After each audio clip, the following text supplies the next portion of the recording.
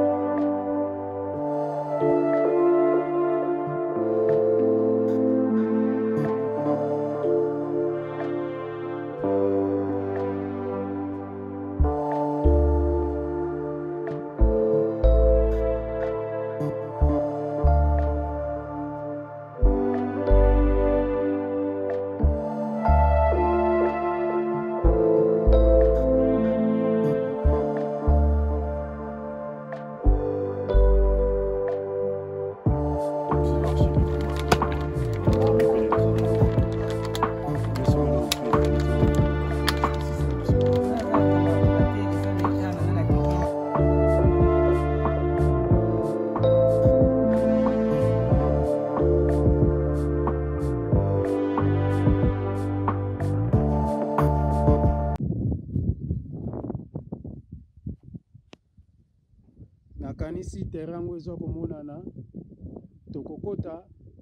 mpona tozwa bamesurage oyo ezali awa oyo esengeli baborne oyo ekota uh, sur ce nazali kozela ingénieur ou bien motu oyo papa atindi ngai na ye tokota na kati ya terrain mpo tomona terrain yango ndenge ezali Mboka kitoko, mboka elengi, mboka moko donc soki na vandi awa na posa kutu ya kobima na kati ya, ya kobima na ville ya Yali te puisque mopepe moko ezali awa mopepe moko ndire euti na lola na kati mpenza ya Bethlehem vraiment natia nanu point moke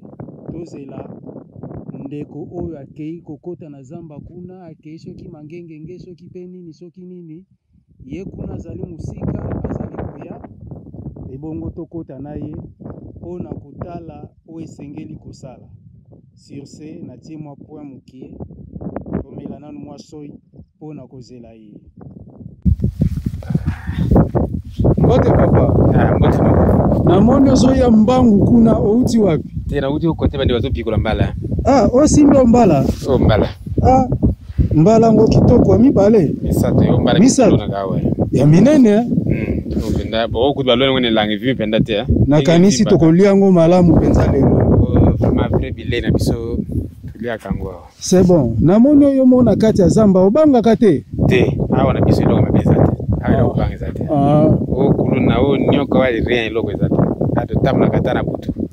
na kati ya zamba bwe namoni oza yo moko oyo osala nini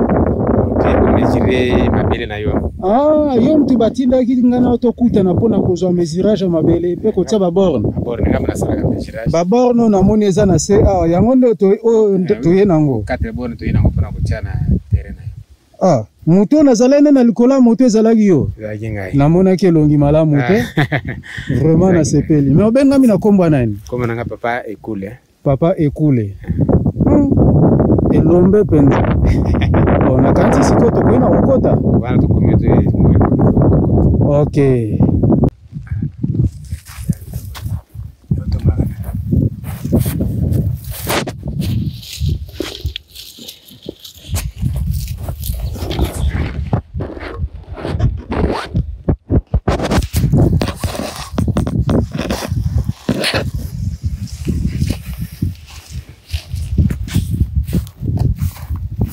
oyo tozali kokota mpona kozwa mpona komema borne moko oyo etikalaki deja misato eseke liboso yango tozokende mpona tokóma na esika oyo tokotia babord na yango en place namoni mbutambutu azali kofongola metre aza kofongola decametre mpo na kozwa mesurage euh, awa tobandi juste na limite ya concession oyo ezali na nkombo ya concession privé sama Nicky ah. Wana ezali wana azali voisin na biso biso siko tobandi place pano oyo ezali pano yango yango oyo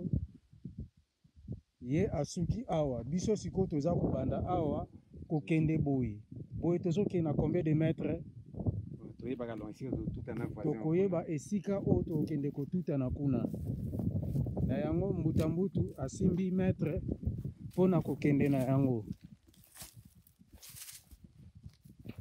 ye wana azali kokende mpo na toyeba esika oyo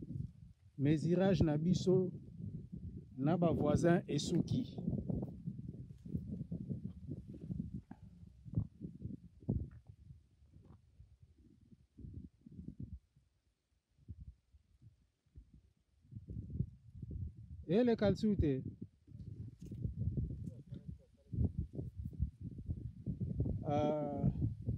decametre ezwi mwa pane aza nano na kote technique aza kobongisa yango mpona kocontinue mosala na biso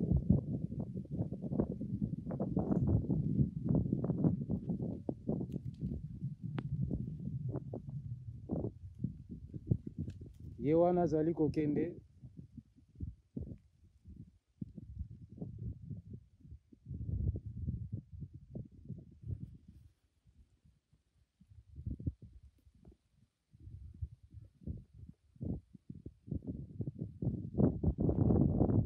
ye wana tomoni ye polele ayali kobongisa decametre na ezwi panne technique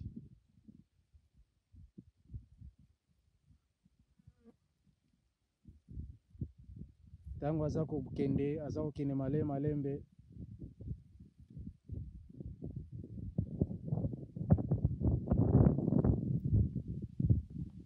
Aza ko kende malembe malembe.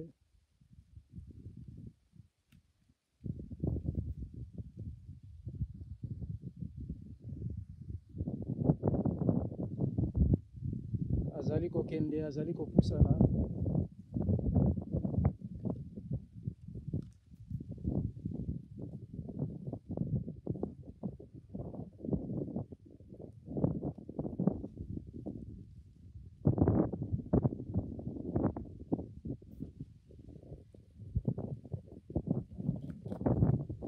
mopepe nde ezali makasi mopepe yali awa makasi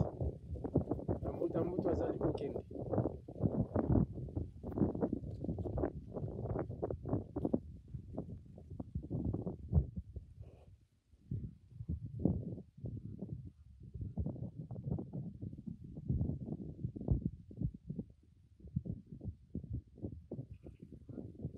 azali kopusana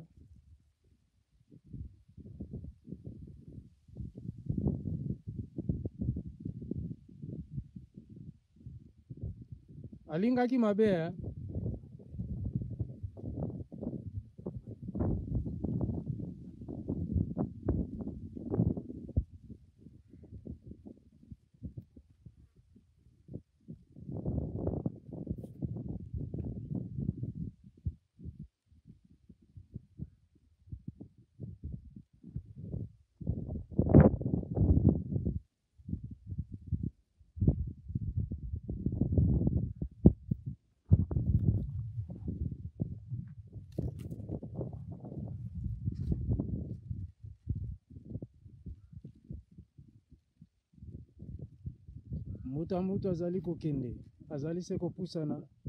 malembe malembe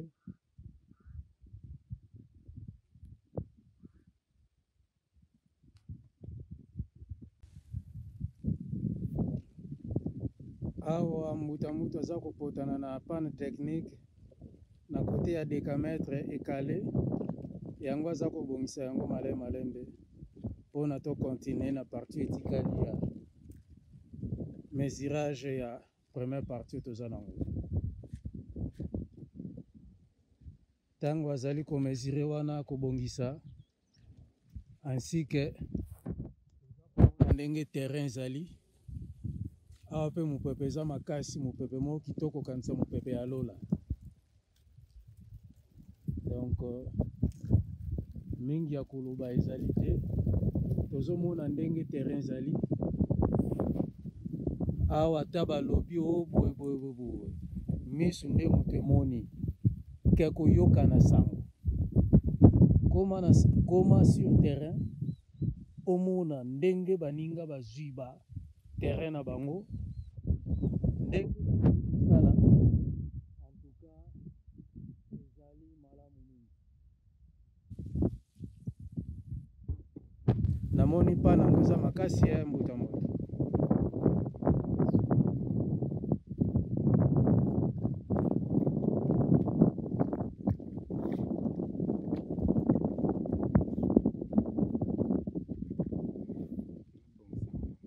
seke elingamaki elingamaki 50 donc na boye tosuki ya na 50 eh, il faut nalongola kuna sikoyo donc 50 na biso awa esuki awa tia pau place 50 esuki po ntango na koya toyebela esika oyo 50 esuki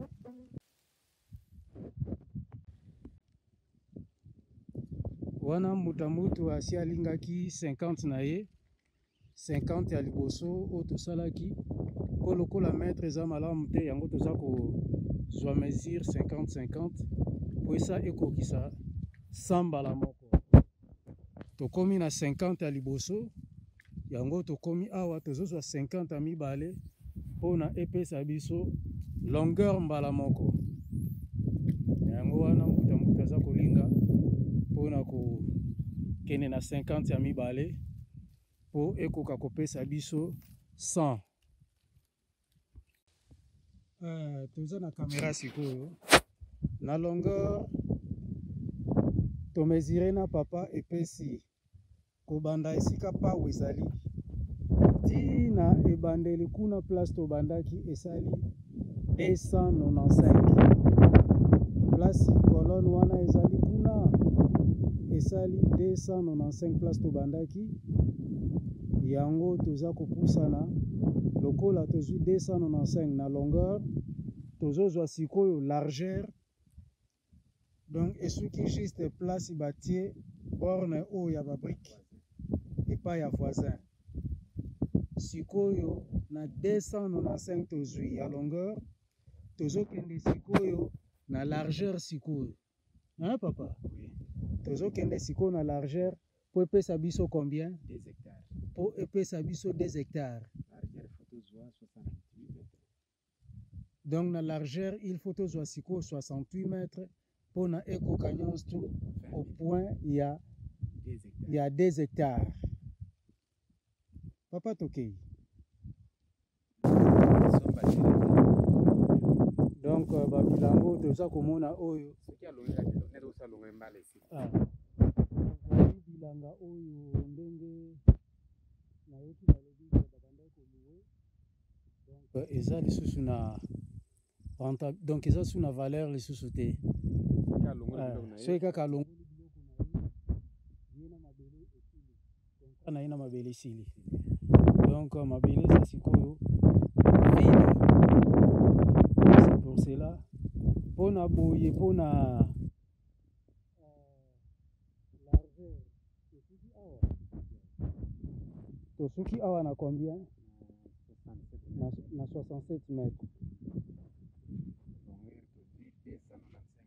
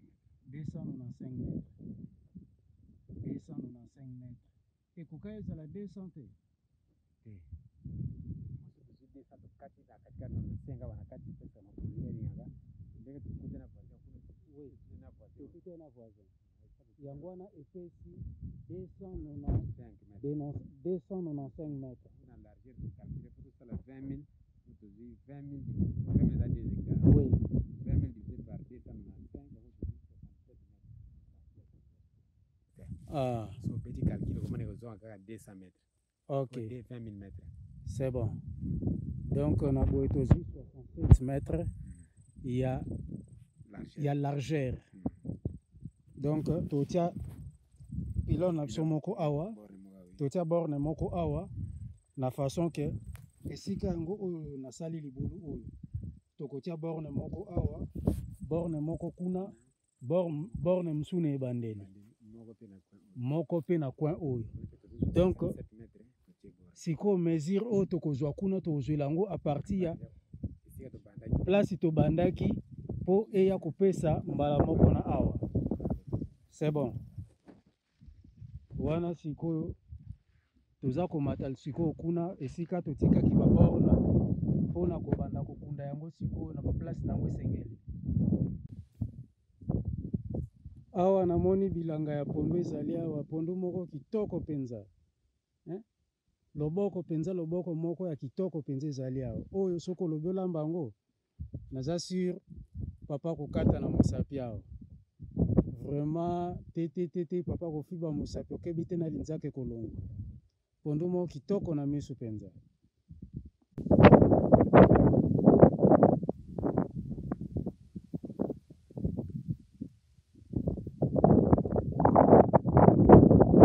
awa tozali na kati ya fer na kati ya mabele uh, ebongo tobosani te uh, chaîne na biso ya fantastic info ezali kolakisa biloko nyonso ndenge ezali naza sire eloko ya kobomba awa ezali te biso nyonso toza komona yango tomoni bilanga ya pondu ndenge ezali pondu kitoko na mopanzi kuna biso sikoyo tozwi esika oyo na kati ya initiative ya Fantastique Info yango tozali ko faire voir biloko tout oyo ezali awa mpo na koloba na bayi mboka ke mabele ya RDC ezali mabele moko malamu, ezali mabele moko esengeli ko exploiter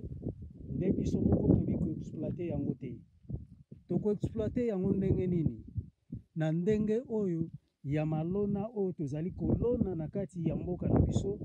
mpe bibwele oyo tozali kobokola tokotia yango bisika mosusu te kaka na kati ya mabele na biso sur ce euh, fantastic info ezali kopesa na bayi mboka ezali kaka awa te tokozwa france belgique états-unis londres johannesbourg bamboka ebele ya libanda bakoka koyeba ke mboka rdc ezali na baetandi ya minene oyo ezali kozanga bavolonteur ba oyo bazali na petite e na moyen de voir de chercher aya koluka mpe kotia baaction na bango na mabele puiske ezali mabele moko malamu, mabele moko productive, ezali kobimisa biloko ya mboka, eza kobimisa biloko mosusu te. Biloko ya mboka elingi koloba nini? maye tozali kolona awa na kati ya mboka na biso ya rdc ezali kobima ezali koleisa population ezali kosala oyo esengeli kosala ezali kobima na mboka c'est pour cela Tozali ko interesser mboka. Mboka ezali kaka Kinshasa te, ba mboka voisins ezali, ba mboka voisines ezali Brazzaville, Angola, Pointe Noire, Gabon, ba mboka ezali ebele. Soki tokei na mikili ya poto, ba Etats Unis ezali, France, Belgique, Londres, Johannesburg, cote ba mboka ezali ebele, tina moko ya kotanga ba mboka ezali te. Pour eviter le chomage et Des journalistes debout. Tomibongisa na kati ya mboka na biso. Musala mosusu ezali te, ezali musala ya zamba. Zamba kaka zamba te, esobe ezali tobongisa malona na biso ndenge tozali kolona ndenge tozali kokoka fiere tala etandi oyo molai tozali komona tozali kotika yango ezali koshomele biso ya tozali koshome mabele mpe ezali koshome papa mama elenge mpe bapaya nakanisi oyo esengeli koloba totia yango na mitu na biso mpe tosala baaction oyo esengeli kosala fantastique info ezali Pona ko interesse bino, biso moko tozala interesse na mabele na biso. Toyeba mabele na biso elingi nini, tokolona nini, periode nini oyo tokolona nini. Botala pondu ndenge ebimi, ndenge touti kotala pondu wana, ezali pondu moko kitoko. Soki otia yango na monoko, okoyoka ata mokoa te. Pondu moko kitoko, okoyoka te oh, Pondu yango makasi te pondu moko layi layi oyo oza kolia ozo kana mongongo ezo kosala kioo donc ezali mabele kitoko mabele oyo ya rdc soki oyebi yango te mawa trop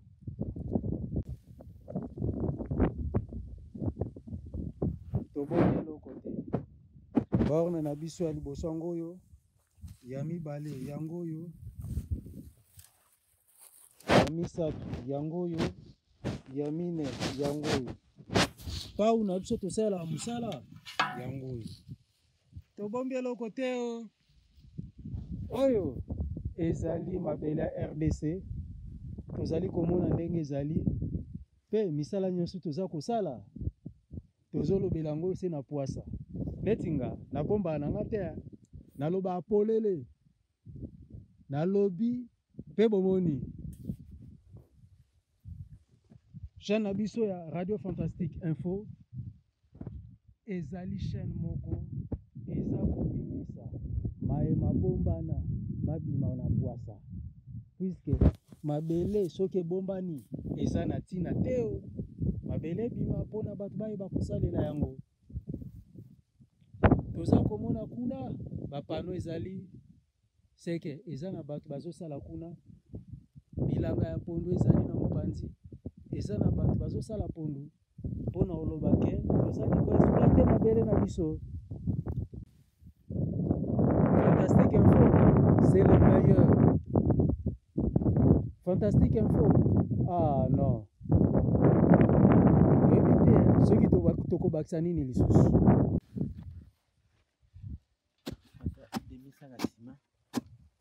nakanisi namoni ndenge ozali kotimbola sikoyo nde tobandi sikoyo action na biso ya kotia baborne lokola tosi tozwi yo deja bamesurage nyonso tu eh, ah. mosala yango so mesai na yango ya papa ah, eza mosala osala mikolo nyonso euh, nakanisi oyo ezali esika oyo tokozwa milona na biso mpe bibwele na biso na kati awa ah. me sikoyo kolongwa na biso na direction principale esika tokoteli na zamba yango hmm. est-ce que motuka ekoki kolongwa kuna na direction principale wana mpona kokoma tie epa boye bon soki bato nyonso nde tosala toza komikabola wa toza kotika nzela na kati mpona motuka ok donc tracteur ekoleka emiati nano nsima mituka ebandi kokota c'est bon ah, koba na mosala papa male malembe oyo hmm, oh, namoni tokomi na esika ya deuxième borne yango ezali kotiama awa mbutambutu azali na kati ya kotia deuxième borne mpo na esala enlignement na première borne totiaki oyo mpe motu azali kaka kolue esika atie pondu na ye awa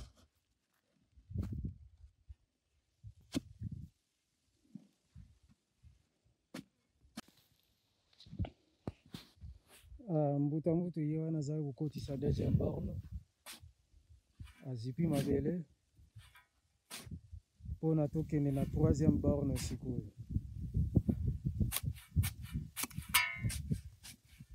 yango nde ezali kolakisa biso limite na bavoisin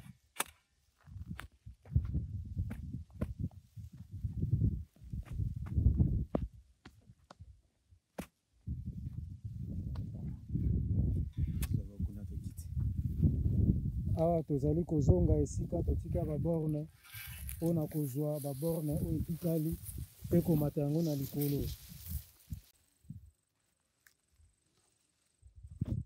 3 borne ekoti na mabele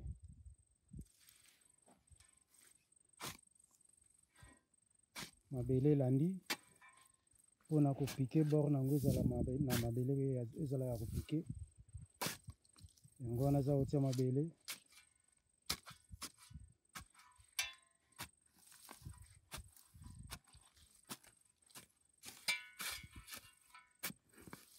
mabele etiami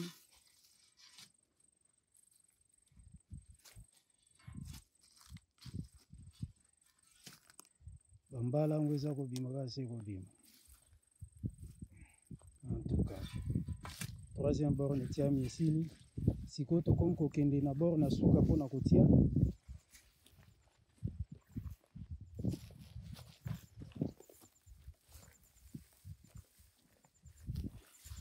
mbuta mbutu ye wana aza komema ngai esika oyo totia quatrième borne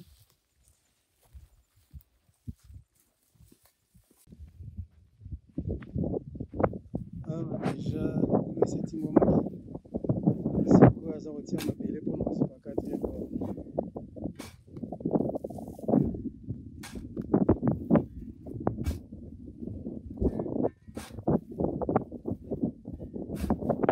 mabele eza kotiama mabele etiami borne ezipami oyo ezali 4e borne na voisin na moninga azali ya mopanzi nakanisi awa mpona Programme ya lelo, mosala ya lelo esili. Awa tokomi kokanga bisaka mpo na kozonga mboka.